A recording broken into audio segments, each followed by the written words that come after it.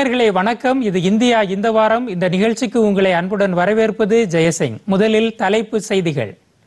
குஜராத்தில் நடைபெற்ற ஒற்றுமை தின நிகழ்ச்சியில் பிரதமர் நரேந்திர மோடி பங்கேற்பு. பார்வையாளர்களை பிரமிக்க வைத்த பெண் கமாண்டோக்களின் சாகசம்.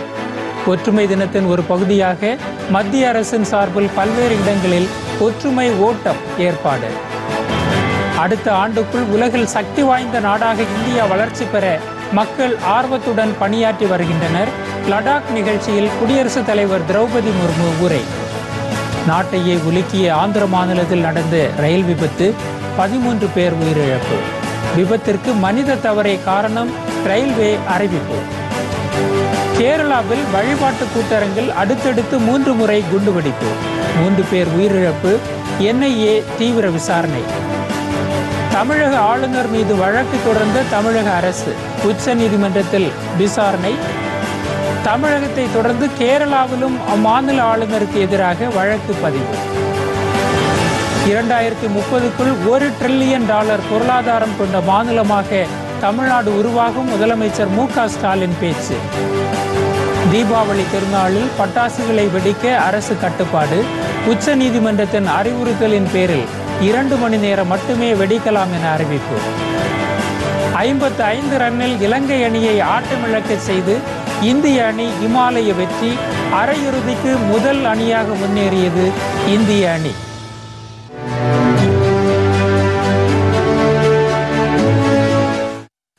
பாரத பிரதமராக நரேந்திர மோடி பதவியேற்ற பிறகு இரண்டாயிரத்து பதினான்கு அக்டோபர் மாதம் முதல் மன் கி பாத் எனப்படும் மனதின் குரல் நிகழ்ச்சியை நடத்தி வருகிறார். இது பிரதமர் வானொலியின் மூலமாக நாட்டு மக்களுக்கு உரையாற்றி வரும் நிகழ்ச்சியாகும். அந்த வகையில் கடந்த ஞாயிற்றுக்கிழமையான அக்டோபர் இருபத்தி ஒன்பது அன்று பிரதமர் நரேந்திர மோடியின் நூற்று ஆறாவது மன் கி பாத் நிகழ்ச்சி நடைபெற்றது. இது குறித்த தொகுப்பை இப்போது காண்போம். பிரதமர் நரேந்திர மோடி அவர்கள் தன்னுடைய மனதில் ஒலிக்கும் கருத்துக்களை மக்களின் மனதில் பிரதிபலிக்க செய்யும் வகையில் வானொலி மூலமாக அகில இந்திய வானொலி மூலமாக ஒவ்வொரு மாதத்தின் கடைசி ஞாயிற்றுக்கிழமைகளில் மன் கி பாத் எனப்படுகின்ற மனதின் குரல் நிகழ்ச்சி மூலம் உரையாற்றி வருகிறார். நாட்டு மக்கள் நாட்டின் மூலை முடுக்குகளிலெல்லாம் அமர்ந்து இந்த வானொலி உரையை செவிமடுக்கிறார்கள்.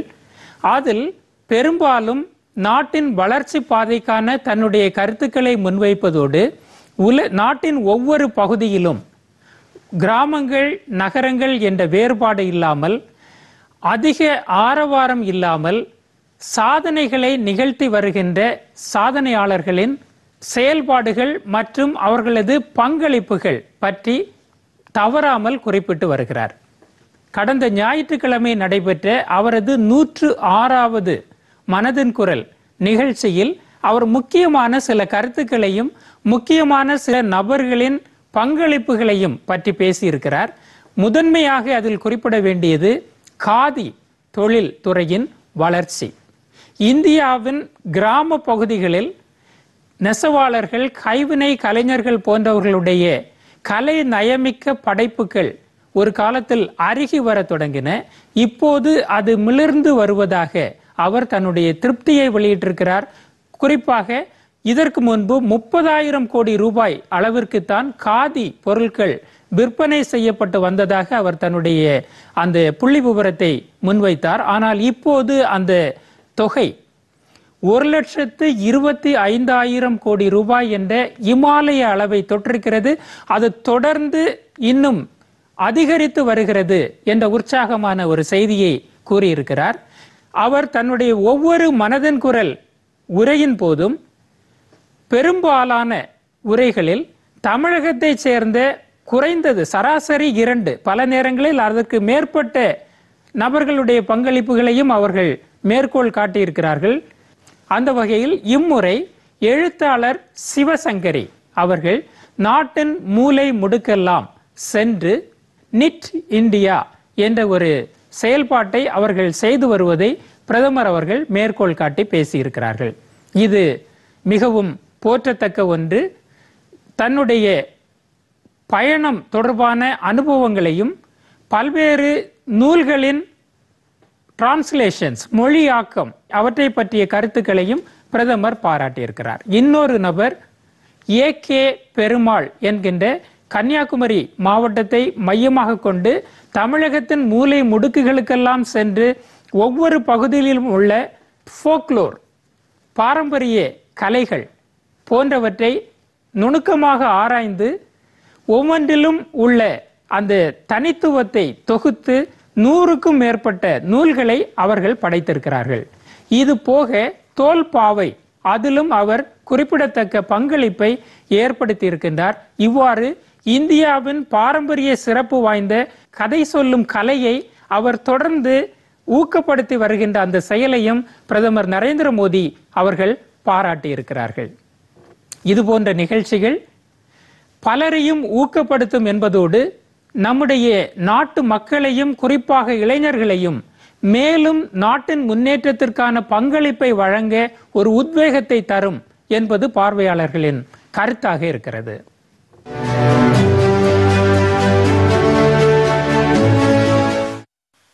குஜராத்தின் நர்மதா மாவட்டத்தில் உள்ள ஏக்தா நகரில் உள்ள ஒற்றுமை சிலைக்கு பிரதமர் நரேந்திர மோடி கடந்த மாதம் முப்பத்தி ஒன்றாம் தேதி செவ்வாய்க்கிழமை மலர் தூவி மரியாதை செலுத்தினார்.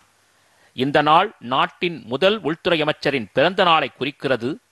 இது தேசிய ஒற்றுமை தினமாக கொண்டாடப்படுகிறது.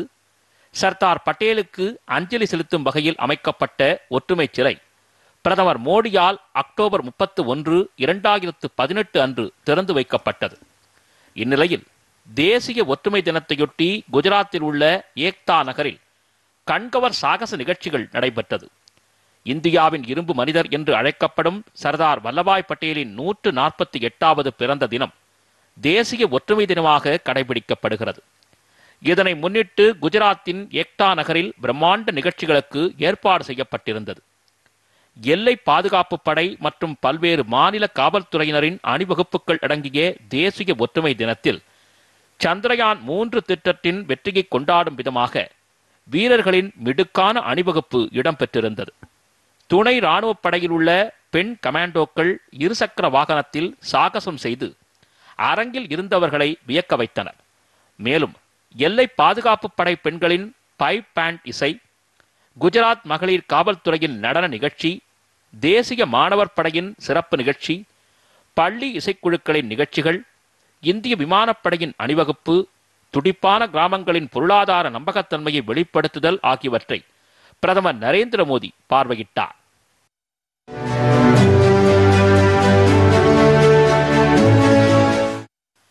ஒற்றுமை தினத்தின் ஒரு பகுதியாக மத்திய அரசின் சார்பில் பல்வேறு இடங்களில் ஒற்றுமை ஓட்டம் ஏற்பாடு செய்யப்பட்டிருந்தது. இரண்டாயிரத்து பதினான்கு முதல் அக்டோபர் முப்பத்து ஒன்று வரை தேசிய ஒற்றுமை தினம் அல்லது ராஷ்டிரிய ஏக்தா திவாஸ் என்று அனுசரிக்கப்படுகிறது. நாடு முழுவதும் ஏற்பாடு செய்யப்பட்டுள்ள ஒற்றுமைக்கான ஓட்டம் என்ற நிகழ்வில் அனைத்து தரப்பு மக்களும் பங்கேற்கின்றனர். தில்லி மேஜர் தியான் சந்த் மைதானத்தில் நடந்த நிகழ்ச்சியை மத்திய உள்துறை அமைச்சர் அமித்ஷா கொடியசைத்து துவக்கி வைத்தார். இந்தியாவின் இரும்பு மனிதர் சர்தார் வல்லபாய் பட்டேலின் நூற்று நாற்பத்தி எட்டாவது பிறந்த நாளை முன்னிட்டு உத்தரப்பிரதேச மாநிலம் லக்னோவில் ஹிந்துஸ்தான் ஏரோநாட்டிக்ஸ் நிறுவனம் ஏற்பாடு செய்திருந்த ஒற்றுமைக்கான ஓட்டம் நிகழ்ச்சிக்கு பாதுகாப்பு அமைச்சர் திரு ராஜ்நாத் சிங் தலைமை வகித்தார். பள்ளி மாணவர்கள் என்சிசி அணியினர் தடகள வீரர்கள் ஓட்டப்பந்தய ஆர்வலர்கள் ஹெச்ஏஎல் வீரர்கள் உட்பட ஆயிரக்கணக்கானோர் ஒற்றுமை ஓட்டத்தில் பங்கேற்றனர்.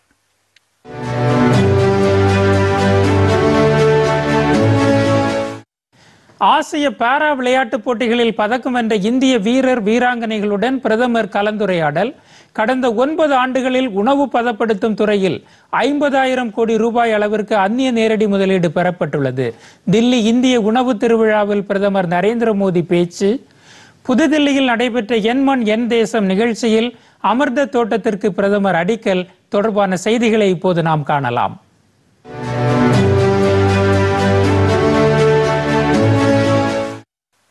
ஆசிய பாரா விளையாட்டுப் போட்டிகளில் பதக்கம் வென்ற இந்திய வீரர் வீராங்கனைகளுடன் பிரதமர் நரேந்திர மோடி கலந்துரையாடினார். ஆசிய பாரா விளையாட்டுப் போட்டிகளில் சாதனை படைத்த வீரர்களை பாராட்டும் வகையிலும் எதிர்காலத்தில் பல்வேறு சர்வதேச போட்டிகளில் சாதனை படைக்க அவர்களை ஊக்கப்படுத்தும் வகையிலும் இந்த கலந்துரையாடல் நிகழ்ச்சியில் பிரதமர் பங்கேற்றார். நவம்பர் ஒன்றாம் தேதியன்று நடைபெற்ற இந்த நிகழ்வில் விளையாட்டு வீரர்கள் பயிற்சியாளர்கள் இந்திய பாரா ஒலிம்பிக் சங்க குழுவினர் இந்திய ஒலிம்பிக் சங்கத்தின் பிரதிநிதிகள் தேசிய விளையாட்டு கூட்டமைப்புகளின் பிரதிநிதிகள் விளையாட்டு அமைச்சகத்தின் அதிகாரிகள் உள்ளிட்டோர் கலந்து கொண்டனர். இதனிடையே வீரர் வீராங்கனைகளுடன் மத்திய இளைஞர் நலன் மற்றும் விளையாட்டுத்துறை அமைச்சர் அனுராக் சிங் தாக்கூர் கலந்துரையாடினார். அப்போது பேசிய அமைச்சர் விளையாட்டு வீரர்களுக்கு தேவையான அனைத்து வசதிகளையும் மத்திய அரசு செய்து அவர்களுக்கு எப்போதும் ஆதரவாக இருக்கும் என்றும் கூறினார்.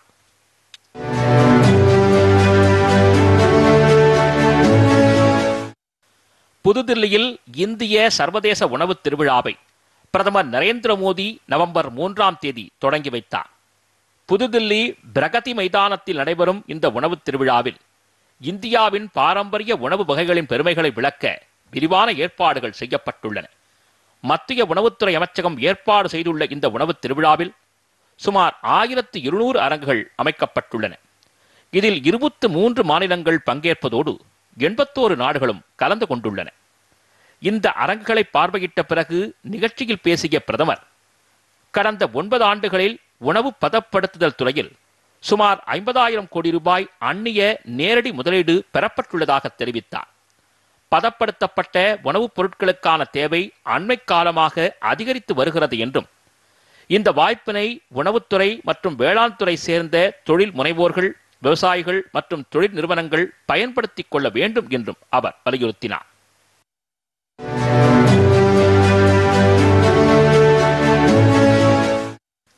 புதுதில்லியில் நடைபெற்ற என் மண் என் தேசம் நிகழ்ச்சியில் அமிர்த தோட்டத்திற்கு பிரதமர் நரேந்திர மோடி அடிக்கல் நாட்டினார். தேசிய ஒற்றுமை தினமான நேற்று என் மண் என் தேசம் பிரச்சாரத்தின் அமிர்த கலச யாத்திரையின் நிறைவை குறிக்கும் நிகழ்ச்சி தில்லி கடமைப்பாதையில் நடைபெற்றது.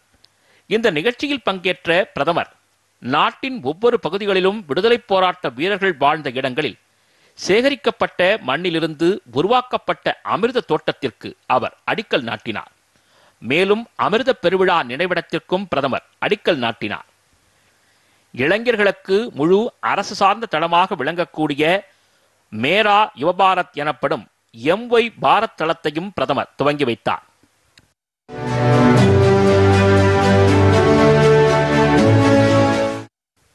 இரண்டாயிரத்து இருபத்தி நான்காம் ஆண்டுக்குள் உலகில் சக்தி வாய்ந்த நாளாக இந்தியா வளர்ச்சி பெற நாட்டு மக்கள் மிகுந்த ஆர்வத்தோடு பணியாற்றி வருவதாக குடியரசுத் தலைவர் திரௌபதி முர்மு பெருமிதம் தெரிவித்துள்ளார். இரண்டு நாள் பயணமாக ஜம்மு காஷ்மீரின் லடாக் பகுதிக்கு சென்ற அவருக்கு உற்சாக வரவேற்பு அளிக்கப்பட்டது. அப்போது பேசிய திரௌபதி முர்மு மத்திய அரசின் நடவடிக்கைகளால் தற்போது லடாக்கில் அமைதி வளர்ச்சி முன்னேற்றம் ஆகியவை ஏற்பட்டிருப்பதாகவும் அடிப்படை கட்டமைப்பு வசதிகள் மேம்படுத்தப்பட்டிருப்பதாகவும் பெண்களின் முன்னேற்றம் குறிப்பிடத்தக்க அளவு வளர்ச்சி பெற்றிருப்பதாகவும் தெரிவித்தார். இதன் மூலம் இந்தியாவின் வளர்ச்சி இலக்கில் லடாக் மக்களும் தங்களை அர்ப்பணித்துக் கொண்டிருப்பதாக தெரிவித்த குடியரசுத் தலைவர். வரும் இரண்டாயிரத்து இருபத்தி நான்காம் ஆண்டு உலகின் மிகப்பெரிய வளர்ச்சி அடைந்த நாடாக இந்தியா மாறுவதில் நாட்டின் அனைத்து தரப்பு மக்களும் ஆர்வத்தோடு பணியாற்றி வருவது மகிழ்ச்சி அளிப்பதாகவும் கூறினார்.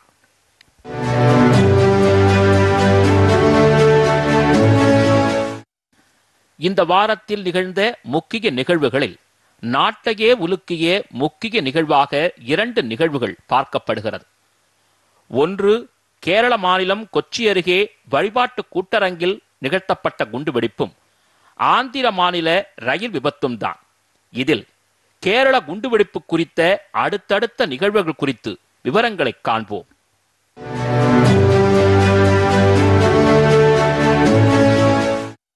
கேரளாவில் கடந்த ஞாயிறன்று எர்ணாகுளம் மாவட்டம் தொழில் நகரான கொச்சிக்கு அருகே கலமசேரி என்ற இடத்தில் ஜெஹோவா விட்னஸ் என்கின்ற ஒரு சமய நம்பிக்கையாளர்களின் மூன்று நாள் கருத்தரங்கு நிறைவடைவதாக இருந்தது. ஆனால் நிறைவடையும் தருணத்தில் காலையில் அடுத்தடுத்து மூன்று குண்டு வெடிப்புகள் நிகழ்ந்தன. உடனடியாக சம்பவ இடத்திற்கு சென்ற காவல்துறையினர் அது இம்ப்ரவைஸ்ட் எக்ஸ்ப்ளோசிவ் டிவைஸ் எனப்படுகின்ற ஐஇடி வகை குண்டுகள் என்பதை கண்டறிந்தார்கள். அதை வெடித்து சிதறிய போது ஏற்பட்ட தீ விபத்தில் பெண்மணி ஒருவர் சம்பவ இடத்தில் உயிரிழந்தார். ஐம்பதுக்கும் மேற்பட்டவர்கள் பல வகையில் காயமடைந்தார்கள். அவர்களில் இரண்டு பேர் மருத்துவமனைகளில் அனுமதிக்கப்பட்டு அங்கே சிகிச்சை பலனின்றி உயிரிழந்தார்கள். கேரளாவில் இதுபோன்ற ஒரு நிகழ்வு அண்மை கால வரலாற்றில் ஏற்பட்டதில்லை என்ற சூழ்நிலையில் இது பற்றி விரிவாக விசாரணை நடத்துவதற்காக உடனடியாக மத்திய உள்துறை அமைச்சர் திரு அமித் ஷா அவர்கள் என்ஐஏ புலனாய்வு அதிகாரிகளை உடனடியாக சம்பவ இடத்திற்கு விரைந்து அனுப்பினார்கள். அந்த குண்டுகளை ஏதேனும் வெடிக்காமல் இருக்கின்றனவா என்று பார்த்து அகற்றவும் குண்டுகளின் தன்மை பற்றி ஆராயவும் என்எஸ்ஜி நேஷனல் செக்யூரிட்டி கார்ட்ஸ் அவர்கள் அவர்களும் அந்த வெடிகுண்டு நிபுணர்களும் சம்பவ இடத்திற்கு விரைந்தார்கள். மேலும் மாநில காவல்துறை மத்திய அரசின் பல்வேறு புலனாய்வு முகமைகள் ஆகிய வீரர்களும் அங்கு விரைந்தார்கள். இந்த நிலையில் டொமினிக் மார்டின் என்கின்ற ஒருவர் காவல்துறையில் இந்த வெடிகுண்டுகளை வைத்தது தான் தான் என்று கூறி காவல்துறையிடம் சரணடைந்திருக்கிறார். ஜெஹோவா விட்னஸ் குழுவின் சில கொள்கைகள் தனக்கு உடன்பாடில்லை என்பதால் தாம் இந்த குண்டுகளை வைத்ததாக அவர் கூறுகிறார். இது லோன் வூல்ஃப் எனப்படுகின்ற ஒற்றை நபரின் செயலா இதன் பின்னால் வேறு ஏதேனும் சதி செயல்கள் இருக்கின்றனவா? இது பற்றிய முழு விவரங்கள் முழுமையான விசாரணை நிறைவடைந்த பிறகுதான் கிடைக்கும். இது ஒருபுறம் இருக்க இன்னொரு புறத்தில் அந்த வெடிகுண்டு வெடித்து தீப்பிடித்து எரிந்து ஏற்பட்ட புகை அடங்கிய போதிலும் அது கிளப்பியுள்ள அரசியல் புகை மூட்டம் தற்போது அங்கு தொடர்ந்து கொண்டு வருகின்றது.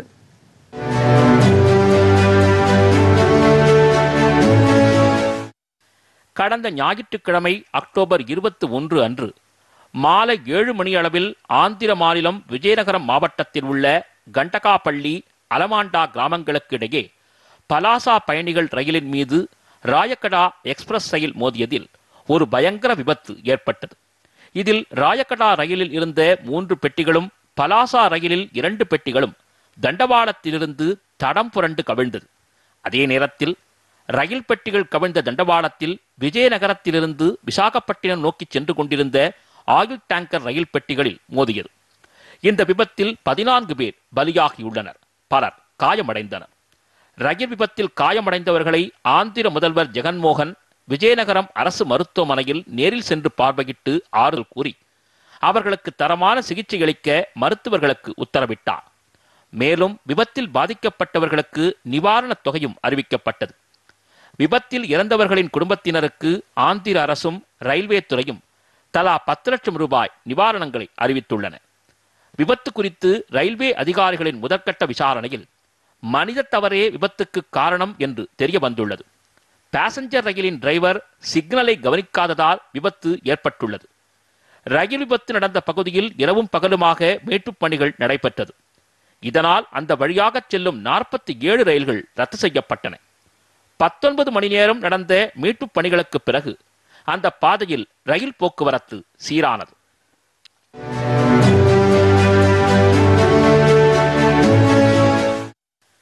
எட்டு நாள் பயணமாக இந்தியா வந்துள்ளார் பூட்டான் மன்னர் ஜிக்மே கேசர் நாம்கியூன் பேங்சோக் அவருக்கு அசாமின் குவஹாத்தி நகரில் உற்சாக வரவேற்பு அளிக்கப்பட்டது.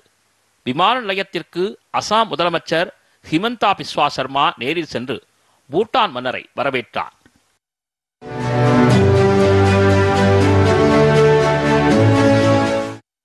தில்லியில் மதுபான விற்பனை கொள்கை தொடர்பான விவகாரத்தில் தில்லி மாநில அமைச்சர் ராஜ்குமார் ஆனந்துக்கு சொந்தமான ஒன்பது இடங்களில் அமலாக்கத்துறையினர் சோதனை மேற்கொண்டனர். தில்லி சிவில் லைன் பகுதி உட்பட அவருக்கு சொந்தமான ஒன்பது இடங்களில் சோதனை நடைபெற்றது. இதற்கிடையே அம்மாநில முதலமைச்சர் அரவிந்த் கெஜ்ரிவால் தனக்கு அமலாக்கத்துறை அனுப்பிய நோட்டீஸ் சட்டத்திற்கு புறம்பானது என்றும் அதனை திரும்பப் பெற வேண்டும் என்றும் கேட்டுக்கொண்டார்.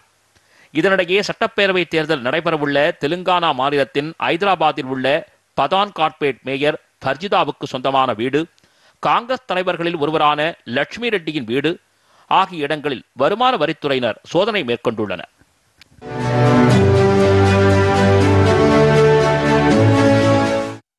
ஆந்திர முன்னாள் முதலமைச்சர் சந்திரபாபு நாயுடுவுக்கு இடைக்கால ஜாமீன். ஆளுநர் மீது வழக்கு தொடர்ந்த தமிழக அரசு உள்ளிட்ட செய்திகளுடன் இன்னும் சில முக்கிய நிகழ்வுகள் குறித்தும் இப்போது விரிவாக காணலாம்.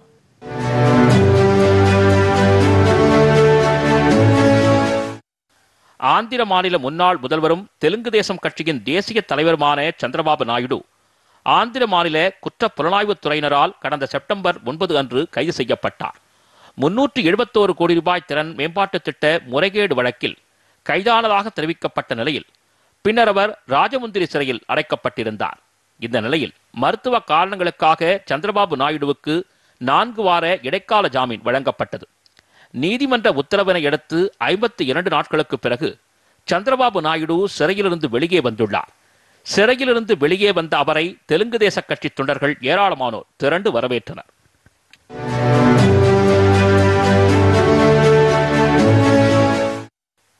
பசும்பன் முத்துராமலிங்க தேவரின் நூற்று பதினாறாவது ஜெயந்தி விழா மற்றும் அறுபத்தோராவது குரு பூஜையை முன்னிட்டு பிரதமர் உள்ளிட்ட பல்வேறு தலைவர்களும் புகழஞ்சலி செலுத்தினர்.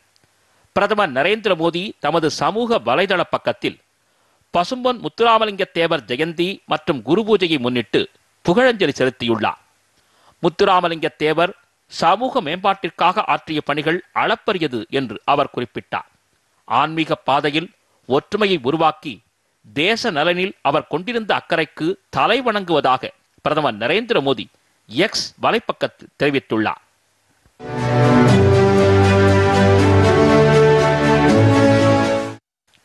தமிழக ஆளுநர் ஆர் என் ரவி ராஜ்பவனில் முத்துராமலிங்க தேவரின் திருவுருவப் படத்திற்கு மலர் தூவி மரியாதை செலுத்தினார்.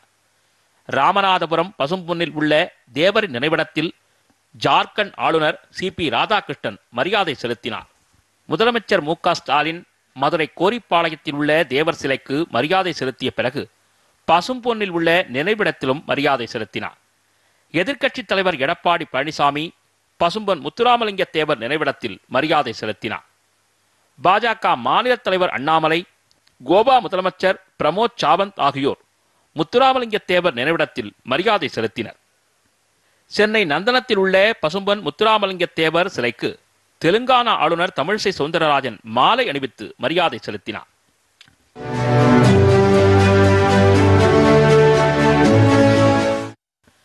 சட்ட மசோதாக்களுக்கு ஒப்புதல் தராமல் இருக்கும் ஆளுநரின் மீது தமிழ்நாடு அரசு உச்சநீதிமன்றத்தில் வழக்கு தொடர்ந்திருக்கிறது.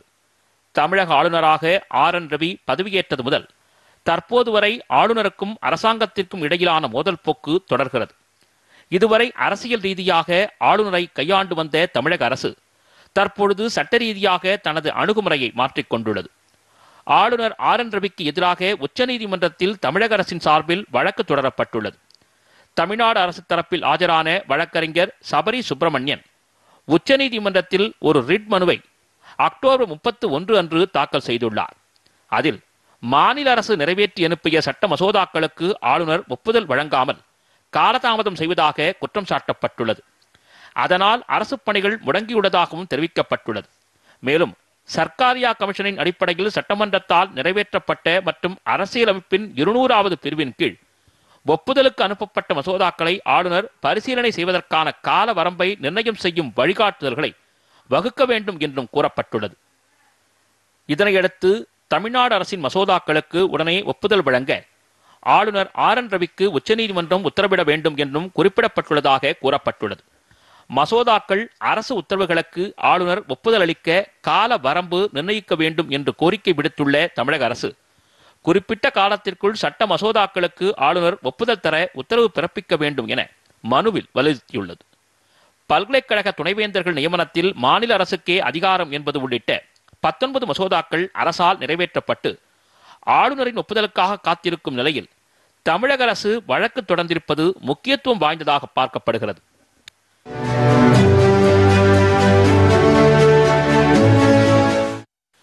சட்டமன்றத்தில் நிறைவேற்றப்பட்ட பல்வேறு வழக்குகளுக்கு ஆளுநர் ஒப்புதல் வழங்காமல் இருந்ததாக கூறி ஆளுநர் ஆரிஃப் கானுக்கு எதிராக வழக்கு தொடரப்பட்டுள்ளது. கேரளாவில் ஏற்கனவே மாநில ஆளுநர் ஆரிஃப் முகமது கானுக்கும் மாநில அரசுக்கும் இடையே பல விவகாரங்களில் மோதல்கள் தொடர்ந்து வருகிறது. கேரளாவில் உள்ள பல்கலைக்கழகங்களில் துணைவேந்தர்களை நியமிப்பது குறித்து ஆளுநருக்கும் கேரள மாநில அரசுக்கும் இடையில் மோதல் நடந்து கொண்டிருக்கிறது. கேரள ஆளுநர் தனது அதிகாரத்தை தவறாக பயன்படுத்துவதாக முதல்வர் பினராயி விஜயன் தெரிவித்திருந்தார். இந்த நிலையில் கேரள ஆளுநர் ஆரிஃப் கானுக்கு எதிராக உச்சநீதிமன்றத்தில் அம்மாநில அரசு வழக்கு தொடர்ந்துள்ளது. எட்டு மசோதாக்களுக்கு ஆளுநர் ஒப்புதல் வழங்காமல் கிடப்பில் போட்டுள்ளதாக மனுவில் புகார் தெரிவிக்கப்பட்டுள்ளது.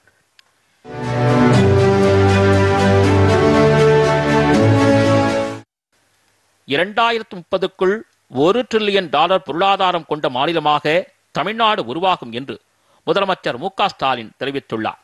சென்னை பல்லாவரத்தில் சிங்கப்பூர் நிறுவனத்தின் சர்வதேச தொழில்நுட்ப பூங்காவை முதலமைச்சர் திறந்து வைத்தார். நிகழ்ச்சியில் பேசிய அவர் அரசின் அழைப்பை ஏற்று தமிழ்நாட்டில் முதலீடுகளை மேற்கொண்டு வரும் வெளிநாட்டு நிறுவனங்களுக்கு தனது மனப்பூர்வமான நன்றி என்று கூறினார். அனைவரையும் உள்ளடக்கிய பரவலான வளர்ச்சி என்பது தமிழ்நாடு அரசின் கொள்கை என்று கூறிய அவர் தமிழ்நாட்டில் புதிய தொழில் புரட்சி ஏற்பட்டுள்ளது என்றார். வரும் ஜனவரி மாதம் உலக முதலீட்டாளர்கள் மாநாட்டை நடத்த உள்ளதாகவும் உலகம் முழுவதிலும் இருந்து பல தொழில் நிறுவனங்கள் தமிழகத்திற்கு வருகை புரிய உள்ளனர் என்றும் அப்போது அவர் குறிப்பிட்டார்.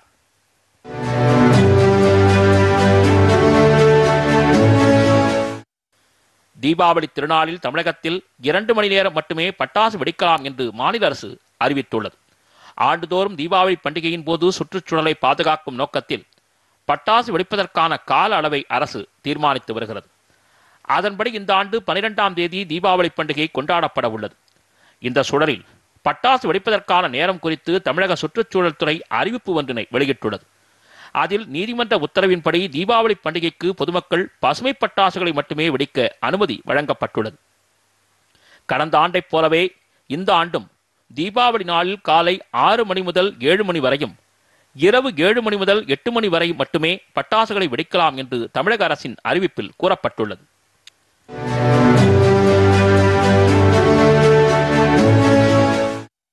முதன்முறையாக இந்திய ராணுவத்தில் காற்றாலை சுரங்கப்பாதை. ஐம்பத்தி ஐந்து ரன்னுக்கு இலங்கை அணியை வீழ்த்தி இமாலய வெற்றி பெற்ற இந்திய அணி போன்ற சுவாரஸ்ய அம்சங்கள் கொண்ட பல செய்திகளை இப்போது பார்க்கலாம்.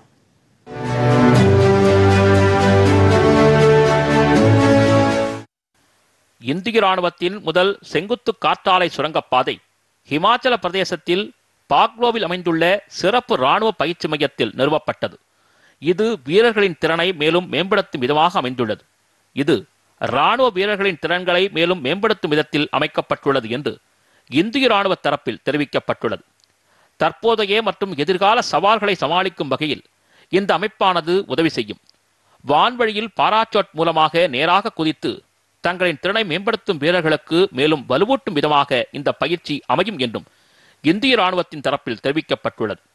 ராணுவ வீரர்கள் எந்த சமயத்திலும் எல்லாவிதமான சூழ்நிலைகளையும் கையாளும் வகையில் பாக்லோவில் அமைந்துள்ள சிறப்பு ராணுவ பயிற்சி மையம் ஒன்றில் இந்த பயிற்சி வழங்கப்படுகிறது. அந்த வகையில் இங்கு சமீபத்தில் செங்குத்தான அமைப்பில் வடிவமைக்கப்பட்டுள்ள இந்த காற்று சுரங்கப்பாதை தொடங்கப்பட்டுள்ளது. இதை ராணுவ தளபதி மனோஜ் பாண்டே காணொளி வாயிலாக திறந்து வைத்துள்ளார்.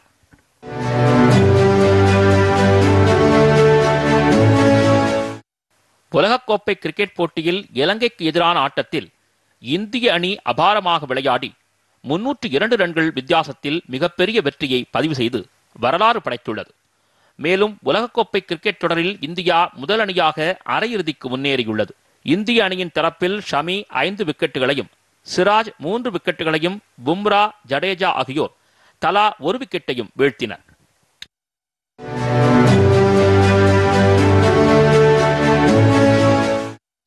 நேயர்களே மீண்டும் அடுத்த வாரம் இதே நிகழ்ச்சியில் சந்திப்போம். நன்றி வணக்கம்.